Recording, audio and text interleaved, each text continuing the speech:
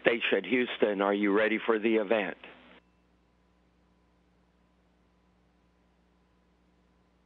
We are ready for the event. KGO TV, this is Mission Control Houston. Please call station for a voice check. Station, this is KGO TV. How do you hear me? KGO, we have you loud and clear. Uh, happy to have you on board the station. Thanks for talking with us this morning. I want to address my first question to Kate, who's our hometown astronaut. Uh, folks back at your high school and at Stanford are awfully proud of you. How do you feel about all the support you're getting from back home and uh, about the school assembly you're going to get to do with Vintage High? Well, it's really fantastic to know that folks at home are supporting us. Uh, we're on this orbital outpost and we circle the globe all the time. But every time we have a pass over the U.S. and over California, I try to make sure and look out and wave a little bit to everybody down below. Kay, this was a long road for you getting to be an astronaut. I, I heard you had to learn Russian, learn to fly a fighter jet. Um, how long did you have to do all that, and uh, how are your Russian and flying skills now? Well, uh, it's about a seven year uh, process total that's been for me so far, and that includes a couple years at the beginning when we first get to NASA. It, we do take a lot of language training. That never stops. We work really closely with our Russian colleagues. Uh, and part of our training does involve aviation. It's an excellent uh, preparation and excellent training for spaceflight. And so uh, I have to say those are two of my favorite things that we've had on board the space station. Uh, preparation for training up on up here on space station are the Russian lessons and the flying. Back here on Earth, you studied HIV. Is the research you're doing in space going to help us understand viruses and, and that sort of illness in a different way than what we were able to do here on Earth? And, and what are, where are you in the process of setting up that research? Yeah, so I actually studied uh, HIV as well as uh, Ebola, smallpox, Marburg, and Lassa, uh, a lot of the really dangerous ones. So we don't have those on space station, but we are understanding how viruses and the immune system interact. And there's actually a really interesting phenomenon on board where you get some dormant virus reactivation in the human body. So I think we're seeing a lot of really undiscovered things. Uh, there's a lot of immunology research, and we're just uh, working on some cell culture and cardiac research today. There's just a whole variety of things to explore about human health up here. Jeff, what can you tell us about Kate as a crewmate? What's it been like teaching her the ropes of living in space, and what are you hoping you can learn from her once her research gets going? Uh, well, it's always fun to uh, to be able to share the experience with somebody for the first time, and both uh, Kate and Takuya um, came up together uh, for their first flight, and uh, they've been uh, um, a lot of fun to have on board. They bring a lot of enthusiasm on board.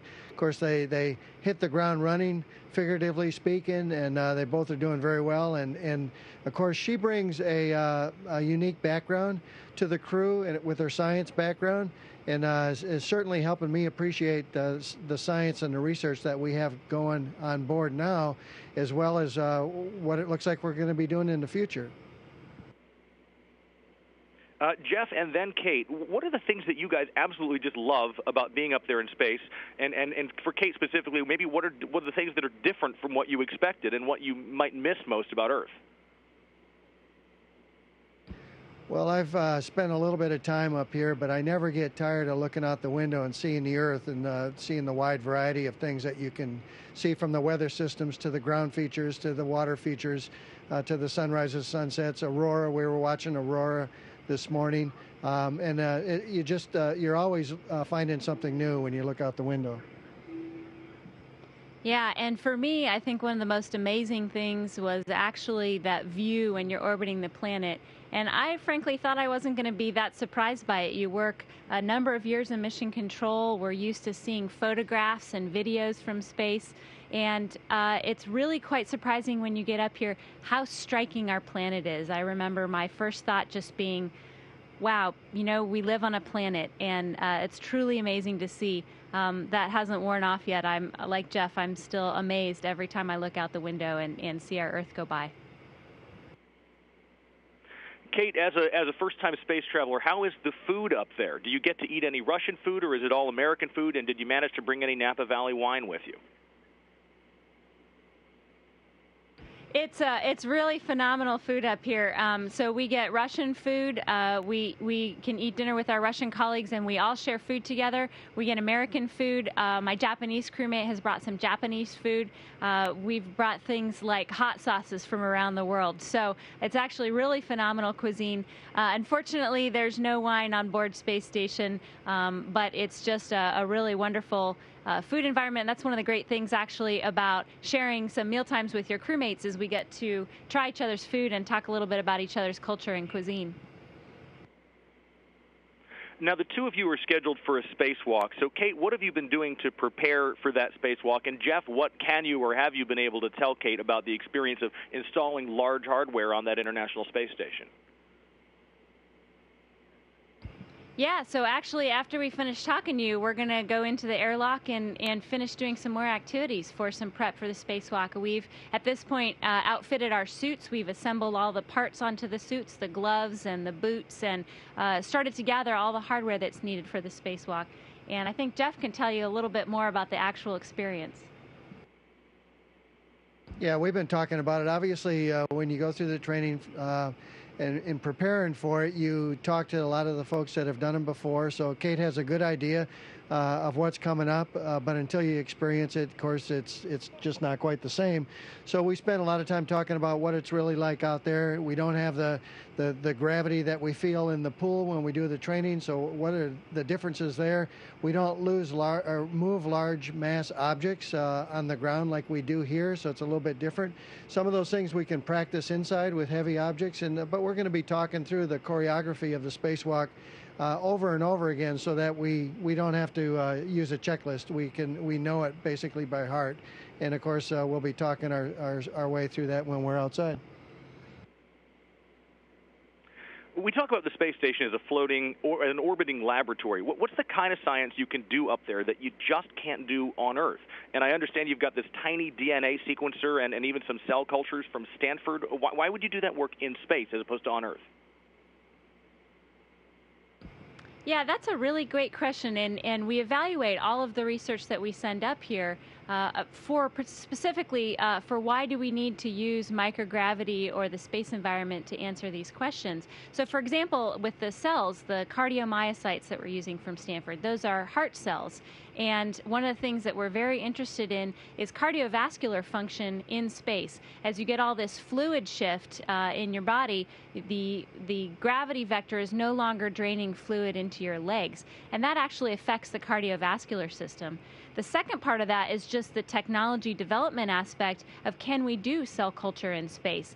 Uh, on the Earth, you would always have a fluid medium that's floating on top of the cells and is stuck to the cells. Up here, the water forms droplets and floats away. So we have some specialized technology to keep all of that cell culture medium uh, together. And, and we're doing the kind of demonstrations that show that we can do cell culture and we can grow any kind of cells in space to investigate some really fascinating principles about how the cells grow, divide, organize their structure, signal to each other, and even DNA changes with the small sequencer. What are you uh, hoping to talk to the folks at Vintage High School about? What, what could you say to them now, and what are you hoping to talk to them about when you do that assembly with them uh, in, in a little while? Well, I think anytime you get a chance to talk to students, it's just fantastic. Um, it really is inspiring to us, and we draw a lot from their enthusiasm. They're always extremely interested and curious about spaceflight, what we're doing up here. A lot of the questions that you have about the research that we do in the orbiting laboratory, we'll get that from students as well. So it's really fun for us just to be able to share a little bit of our experience and what it's like actually living and working in space on the International Space Station. Last question. What do you do with your free time? Is there Pokemon Go in space?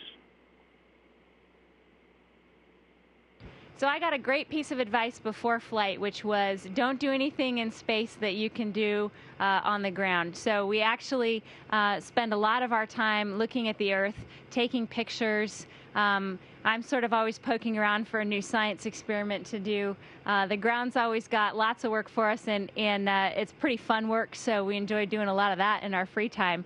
Uh, I, and I'll let Jeff uh, let you know what he likes to do too. Well, for me, uh, like I mentioned before, you never get tired of viewing the Earth. So I, have uh, had a hobby up here of taking a lot of photography to try to capture uh, the images that you get and bring the vantage point back to the folks on Earth. Station, this is Houston ACR. That concludes the KGO TV portion of the event. Please stand by for a voice check from the History Channel. Station, this is History. How do you hear me? History Channel, we have you loud and clear. Welcome aboard the International Space Station. Hey, glad to be here. How's it going? Good morning, Jack it's Osbourne going here. very well. Good we morning, stay very Jack busy up here. Ah, good times, good times. Well, thanks for joining us for the uh, first ever Spacebook Live event. Uh, now, I know we've only got 10 minutes, so uh, let's get to it. Uh, Jeff, Kate, can you introduce yourselves and tell us how long you've been at the station for? Um, I'm Jeff Williams, and I launched uh, with my Russian crewmates, two Russian crewmates, in March, uh, and scheduled to return to Earth in early September. Kate Rubins, and I've been here just almost a month. Ah, cool. Uh, how are you guys uh, enjoying it? I'm assuming it's the best job ever. Yeah, it, there's no denying that. It's absolutely fantastic up here. Um, everything is is surprising. Uh, it feels like the laws of physics have either changed or been extremely reinforced. And so I'm having a great time. Uh, a lot of this is new to me. Awesome. Now, while in orbit, can you tell us about the work you guys have done so far and, and what you guys are currently working on right now? Well, the work is ongoing. We've had continuous human presence here in the space station for going on 16 years now. Uh, and of course, uh, many of those uh, early years were spent uh, assembling this uh, magnificent orbital outpost.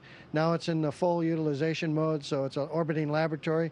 We've got a lot of experiments going on, and they're always coming and going, so we're doing something new across the spectrum of all the sciences. Of course, this is a big, complex orbiting laboratory that needs to be maintained, so we spend time maintaining it. Uh, we also spend some time repairing it when things break. Um, and occasionally, like we're looking forward to in a, in a few weeks here, we get to go outside, do a spacewalk, and do those same kinds of activities, uh, either uh, repairing or maintaining the station. In this case, we're going to be adding a docking adapter uh, for future uh, uh, crewed vehicles. Very cool. Now, do you guys operate on a seven-day work week? Do they give you any downtime? Yeah, so we actually work um, about a five and a half day work week. We get a little bit of free time to look out the window and see the earth.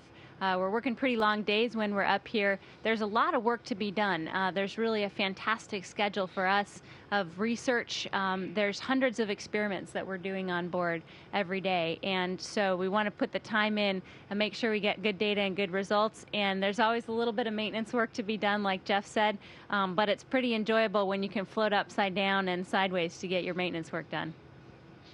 Very cool. Now, there's been so many advances in space history. What inspired you guys to become astronauts? Well, for me, I think uh, certainly I grew up uh, in the Apollo era, uh, and I was old enough to remember the Apollo 11 moon landing, so that certainly was an inspiration. But uh, I first realized that uh, it was possible for me when I was at the military academy at West Point, and I read the book The Right Stuff. The first Army astronaut, General Bob Stewart, was selected. Uh, and of course, I was gonna, I was anticipating a career in the Army, so I knew it was possible as an Army officer. Uh, and that's when I set it as a goal. I think it was 1978, 79, um, and it took me till 96 to be selected, and 2000 uh, was my first flight. Yeah, and when I was a kid, ever since I can remember, um, I had a, a, list of career goals, and astronaut was one of them. Uh, and it wasn't until I was about in high school uh, that it, it seemed like maybe astronaut wasn't just an absolute uh, number one career choice that was going to happen. So I let that go for a little while and uh, then applied really as soon as I had the minimum qualifications. Can you tell us about some of the preparation you guys went through to become an astronaut? Yeah, we do a lot of training on the ground. So it's years of training before we get assigned to a mission and, and we fly. And uh, it's a it seems like a kind of a grab bag of training. It's really this pretty diverse set of training, but each element really comes to play once you're on board the space station. So we do things like Russian language. We do a lot of aviation training and flying. Uh, we train for EVA. We train with the robotic arm. And um, so you end up being a specialist in a whole bunch of different areas. It's a lot of fun on Earth, but it's really fun to see how it all comes together uh, when we're doing our actual execution of the mission on board. I would also add that uh, this is in an international space station with uh, uh, contributions from uh, Russia, the European Space Agency, Japan, Canada, and of course NASA. So we end up traveling to all those places and training in, in those environments, uh, which is uh, um, pretty um, um robust or pretty exciting part of the experience as well. Also, up here we can't call the plumber or the electrician or even the emergency medical team if something goes wrong. So we get training in all those areas as well. Wow. So it's like a, a literally a one-man band with every astronaut. We're well, I would say a six-person crew, that a six-person team, along with an, a very extensive uh, uh, uh, ground team in Houston, in Moscow, in Munich, Germany, and Tsukuba, Japan, as well. Yep, very cool. All right, now we have some questions from some of our fans. Um, Elizabeth L. would like to know what was the most surprising part about being on the space station, uh, or, or what is, uh, and something that you maybe didn't expect that the NASA didn't tell you about. Well, NASA has prepared us really well, but I think um, nobody can fully communicate to you what it's like when you see the Earth and to be passing over all these different places in the globe. So, just as an example for today, uh, Jeff showed me the Himalayas and and uh, how the Earth uh, is is got all of these different dimensions when you start getting the mountainous structure. Uh, we looked at the aurora. I saw a meteorite going through the atmosphere for the first time. So there's really nothing quite to prepare you for all these different sights that you see, even though you can do a lot of studying on the ground. Very cool. Now, Ayla asks After spending time living in space, do you think it actually will be possible for humans to inhabit outer space? And when do you think that's going to really begin? Well, I think we're inhabiting outer space right now uh, for six month durations anyway. And Scott Kelly, of course, uh, stayed up here for uh, just under a year. Um, and we, we will inhabit, well, you know, with the moon, I'm sure will be in the future. Uh, of course, Mars is the ultimate target. Um, but Earth is very unique in that Earth provides all of the things necessary to support life in this destination here in the station, as well as those others that I mentioned, uh, we have to bring the provisions uh, to support life with us from Earth. You know, the air we breathe, the food, uh, the uh, the other supplies that we have all come from Earth. Uh, so it's, uh, I guess you could say, uniquely provisioned. But certainly, it's possible to inhabit places like this. We've shown it for going on 16 years now. Very cool. Now, I'm a total conspiracy theory, tinfoil hat wearing mild lunatic. So I have to ask the question, you know, do you guys believe in intelligent life? And have you ever seen anything that made you kind of go, hmm, what was that? Uh, certainly, you see things once in a while. You go, "Hmm, what was that?" But never has it uh, been um, even a possibility of, say, the the classic UFO that you see uh, folks talk about or aliens or all that. Uh, so to answer that part of the question, no, I think uh, those are um, those are fairy tales. all right. Hey, well, guys, thank you very much for your time and uh, appreciate all the work you guys are doing. And that concludes our uh, Spacebook Live. Thanks so much. It was great to talk to you. Station, this is Houston ACR. Thank you. That concludes the event. And thank you, KGO TV and the History Channel. We are now resuming operational audio communication.